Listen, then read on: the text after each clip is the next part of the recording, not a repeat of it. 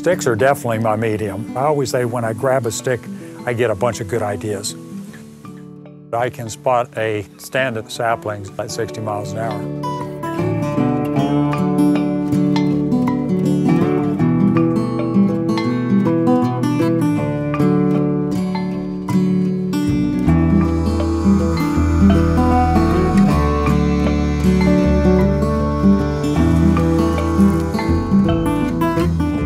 So we want uh, the wild rumpus to begin. He started out in clay, and he did good clay work, but his heart, I don't think, was really in it the way it was in his the stick world.